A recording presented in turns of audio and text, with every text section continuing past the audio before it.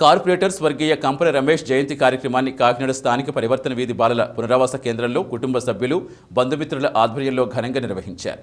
ముందుగా రమేష్ చిత్రపటానికి ఆయన సోదరుడు బాబీ సోదరులు సూర్యకుమారి మిత్ర బృందం పూలమాల వేసి నివాళులర్పించారు.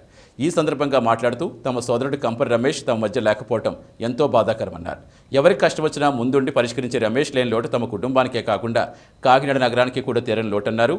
రమేష్ పుట్టినరోజు స్మరించుకుంటూ పలు సేవా కార్యక్రమాలు చేయడం జరుగుతోందన్నారు. భవిష్యత్తులో కూడా రమేష్ చిత్ర బృందానికి తమ కుటుంబం అండగా ఉంటుందన్నారు. అనంతరం వసతి గృహంలో విద్యార్థులకు భోజనాలు వడ్డించారు. ఈ కార్యక్రమంలో సిహెచ్ సురేష్ బాబు పాలక పృథ్వీ కృష్ణ కురపాటి రమేష్ అప్పన్న మామిడి రవికిరణ్ అభిమానులు తదితరులు పాల్గొన్నారు. మా తమ్ముడు లోటు చాలా ఎక్కువగా ఉన్నదండి మా అందరికి. అలాగే మీ అందరికీ కూడా చాలా లోటు ఉంటుందని నేను అనుకుంటున్నాను. వాడు ఉంటే మీ అందరి కష్టసుఖాలు కూడా చాలా బాగా చూసేవాడు. అవన్నీ నాకు బాగా తెలుసు. మేము అంత చేయలేకపోయినా మా తమ్ముడు టీవీ లేకుండా మీకు కనిపించకుండా నేను నా చిన్న తమ్ముడు తప్పకుండా మీ అందరికీ సహాయం చేసేలా చూస్తాం. ఈరోజు వాడు మా మధ్యన లేయడం చాలా బాధగా ఉంది.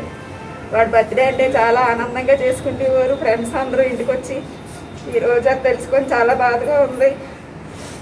వాడు వంతున మేము ఈ సేవా సమితిలో పిల్లలకి అందరికీ భోజనాలు పెట్టి ఏదో కొంచెం ఆడ ఆత్మకు శాంతి కలిగేలా చేద్దామని ప్రయత్నం అంతే మీరందరూ మా వెనకాల ఉంటారని ఆశిస్తున్నామండి.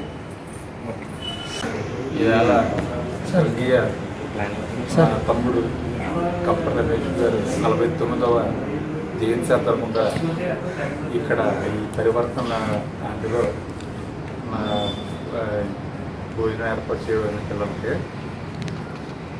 మా మధ్య లేకపోయినా వాడి యొక్క స్మృతులు తలుచుకుంటూ మా లేకపోవడం ఎలాగ తీరం లోటు.